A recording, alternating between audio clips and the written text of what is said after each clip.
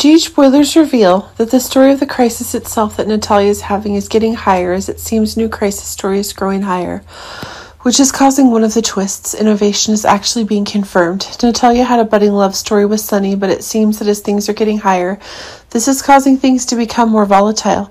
But it seems that one of the new developments is that one of the changes that Sonny is having involves the story of how crazy he's getting. This is causing one of the eliminations that are being had, but it seems like a new obsession is growing if one of the traits that Natalia is having over the very story of Kristina and Blaze is really making things worse. Going high, this is causing one of the new actions that Natalia is getting to be going higher and higher.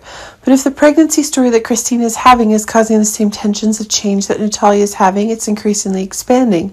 This is really causing one of the sabotages Natalia is having to escalate, but it seems that as the main plot of Natalia's dangerous actions are getting boring, it's making one of the drastic changes that are taking place.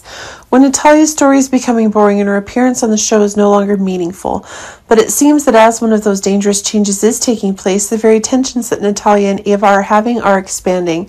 But it seems that as one of the new changes is increasing, Natalia herself is realizing the dangers that Ava is creating, and this is causing one of the new dangers to be acquired. Now, if the story that Natalia is actually having has an end, and actress Eva LaRue is also really not seeing the developments of the new stories within the new obsessions, many viewers had high hopes when Eva LaRue was announced as an additional cast member. LaRue is a talented actress who definitely knows how to be on the soap opera, but things haven't been going well since her debut as Natalia. This needs to be stopped as quickly as possible, but it seems that one of the new seriousness that's being acquired is actually making one of the new hauntings increasingly evident. But if the exit story the actress is looking for is to create a new exciting storyline for GH itself, it's accurate that the story is one that Natalia is able to destroy Ava.